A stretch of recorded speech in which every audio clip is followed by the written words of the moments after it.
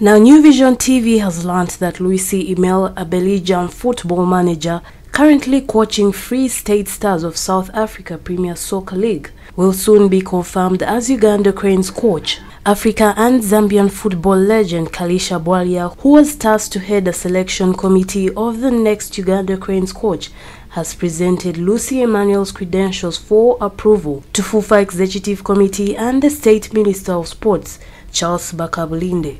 The next task will be coming up with a salary scale for Lucy Emmanuel and his coaching team. This is expected to be concluded by the end of the week. Yeah, Kalusha Bwalia is in the country, having arrived uh, last evening, and uh, he will be leaving uh, uh tomorrow, that's Wednesday.